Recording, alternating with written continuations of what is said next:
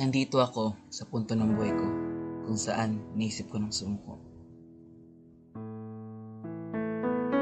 Sapagkat gulong-gulo na aking isipan kung ipaglalaban pa ba kita o tutuloy na kita maging masaya sa piling niya. Gusto pa sana kitang ipaglaban pero ikaw na ipinaglalaban ko, tuloy na rin ako.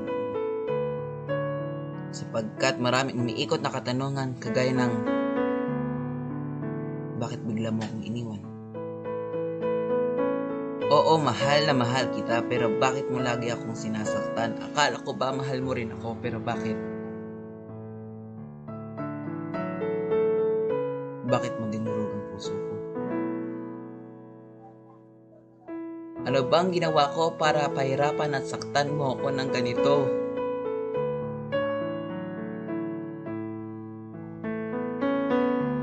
Ginawa ko naman lahat ng gusto mo pero bakit hindi pa rin ito sapat para sa'yo?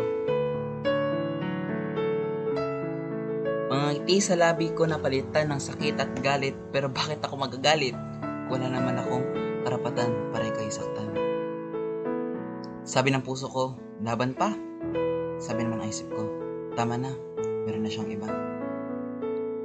Ano ba ang dapat kong paniwalaan? Hindi makatugma ang sinasabi ng puso ko't isipan.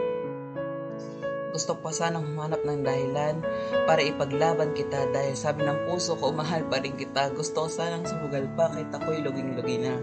Gusto pa sanang lumaban pa pero ikaw na minahal ko ng tuluyan. Tuluyan na lang iniwan.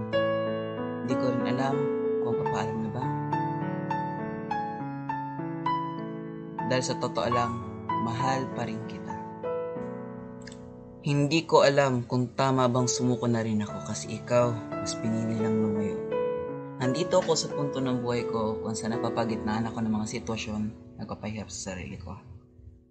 Nalaban pa ba? Magpapaalam na.